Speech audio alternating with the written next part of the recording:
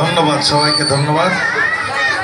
আজকে আট নম্বর ওয়ার্ড মহিলা আওয়ামী লীগের আয়োজনের কর্মী সভার সম্মানিত সভাপতি, প্রধান অতিথি হিসেবে উপস্থিত আছেন মহানগর আওয়ামী লীগের সভাপতি,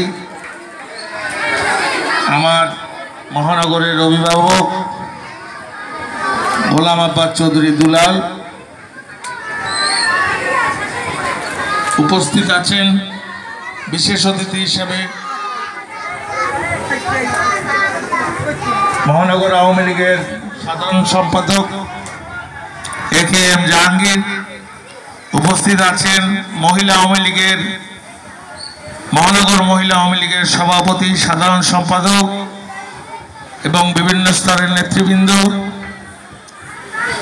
উপস্থিত আট নম্বর ওয়ার্ডের আমাদের মা ও বোনেরা, সবাইকে আমার সালাম, সবাইকে আমার শুভেচ্ছা।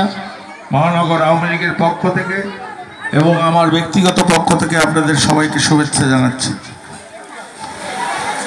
বক্তব্য বক্তব্য আপনাদের আপনাদেরটা শুনেছি। আপনারা কি চান? আপনাদের কথা শুনেছি। আমরা সবাই শুনেছি। আপনাদের কথা শোনার জন্যই আমাদের এই ওয়ার্ডে আমরা কর্মী সভা করছি। আপনাদের কথা শোনার জন্যই। আপনারা কি চান বা আপনারা কীভাবে আমাদের অ্যাকচুয়ালি এটা তো নির্বাচনী সভা না। আমরা এসেছি মহিলা আওয়ামী লীগের কর্মী সভা, আমাদের মহিলা আওয়ামী লীগ কীভাবে সংগঠিত করব সেই কারণে। কিন্তু ম্যাক্সিমাম জায়গায় যেই আপনার সভাটা নির্বাচনের নির্বাচন নির্বাচনমুখী সবার মুখ থেকে আপনার নির্বাচনের আমাকে মেয়র দেখতে চান, মেয়র দেখতে চান, এই কথায় এটা নির্বাচনী সভা হয়ে যায়। যাই হোক, আপনাদেরকে ধন্যবাদের জন্য যে আপনারা ওইভাবে চিন্তা করছেন আমার কথা। আর আর একটা কথা বলব যে আপনাদের যে পানির যে দুর্দশা আমাদের বরিশালের এটা আপনাদের শুধু না, আমাদের পুরো বরিশালের জলবদ্ধতা, এটা সবচেয়ে বড় প্রবলেম আমাদের শহরের এখন। আমার, আমি যদি আল্লাহ যদি আমার বসাইতে বসায় ওই চেয়ারে মেয়রের চেয়ারে ইনশাল্লাহ প্রথম, আমার প্রথম কাজই থাকবে বরিশাল এই জলাবদ্ধতা দূরীকরণ, এটা থাকবে আমার প্রথম কাজ। আর মেয়র হই কি না হই, এটা তো মনে করেন আল্লাহ জানে এখানে বসতে হলে এটা আল্লাহ রহমত না থাকলে পরে যে কেউ চাইলেই বসতে পারে না। আমি হই কি না হই আমি আপনাদের পাশে। আমার, আমি যতদিন বাঁচব, আপনাদের পাশে, বরিশালের মানুষের পাশে থাকব।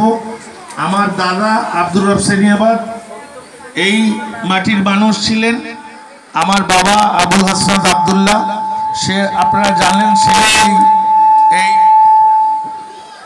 বরিশালের অঞ্চলের এই বরিশাল পৌরসভার প্রথম চেয়ারম্যান ছিল। আমাদের বাংলাদেশ স্বাধীনতা স্বাধীন হওয়ার পরে সে সাতাইশ বছর সবচেয়ে ইয়াং এই পৌরসভার, বরিশাল পৌরসভার চেয়ারম্যান ছিলেন।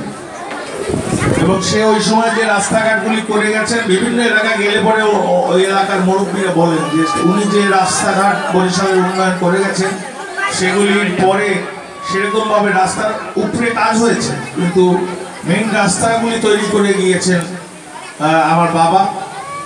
আর সে এখনও আছেন, সে জানেন, আপনারা জানেন যে সে আমাদের বরিশাল এক আসনের এমপি। আপনারা তার জন্য দোয়া করবেন। আর আমি আপনাদের কাছেও দোয়া চাই। আমার দরজা একজন অভিযোগ করেছেন যে আমার বাসায় যে দেখা করতে পারেনি। আসলে আমার দরজা সবসময় খোলা থাকে, কিন্তু ইদানিং এত প্রেশার থাকে, এত লোকজন যায় যে দেখা যায় যে আমি হয়তো সবাইকে সময় দিতে পারি না হাজার হাজার লোক যায়। আপনারা গেলে বুঝতে পারবেন। তো যাই হোক, তারপরেও আমি চেষ্টা করি প্রতিটা মানুষের সাথে দেখা করার। কারণ মানুষ তো আমি একজন। হাজারো হাজারো লোক যায়। আমার একার সবার সাথেই কথা বলতে হয়। সবাই আমার সাথে কথা বলার জন্য দেয়। আমি চেষ্টা করি সবার সাথে কথা বলার জন্য, সবার অভিযোগ শোনার জন্য বা তাদের কি প্রয়োজন দেখার জন্য। যতটুকু আমার সাধ্য, আমি করার চেষ্টা করি। আমার দরজায় কেউ গেলে পরে আমি কেউকে খালি হাতে ফিরাই না। আমি চেষ্টা করি করার জন্য। আর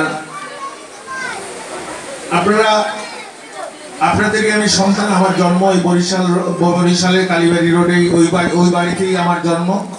আপনারা সবাই দোয়া করবেন যে আমি যতদিন বাঁচি, আমি যেন এই বরিশালের মানুষের পাশেই থাকতে পারি, আপনাদের পাশে থাকতে পারি, আপনাদের সেবায়। আমাদের আমাদের, আপনারা জানেন যে আমাদের পনেরোই আগস্টে আমাদের পরিবার পরিবারের আমার ইমিডিয়েট বড় ভাইকেও মেরে ফেলেছে। ওই সময় বঙ্গবন্ধু যখন মারা গেছে, তখন আমার দাদা, আমার ইমিডিয়েট বড় ভাই, আমার ফুপু, আমার চাচা, আমার আপন চাচা, তাদের সবাইকে ওই সময় মেরে ফেলেছে বঙ্গবন্ধুর পরিবারের সাথে, আমাদের পরিবারেরও। তো আমাদের চাওয়া পাওয়ার কিছু নাই। আমাদের বাড়িঘর বানানোর বাড়ি গাড়ি বানানোর কিছু নাই। আমরা মানুষের জন্য করতে চাই, আল্লাহ আমারে এই পরিবারে জন্মগ্রহণ করেছে হয়তো বা আপনাদের সেবার জন্য। আপনারা খালি দোয়া করবেন, আমি যেন আপনাদের পাশে থাকতে পারি। জয় বাংলা, জয় বঙ্গ- বঙ্গবন্ধু। আমি আর কথা বলব না। আমি সবচেয়ে বেশি কথা বলছি আপনাদের সাথে। আমি আর কথা বলব না। আপনাদেরকে ধন্যবাদ। এখন কথা বলবেন। আজকে সবার প্রধান অতিথি। বরিশাল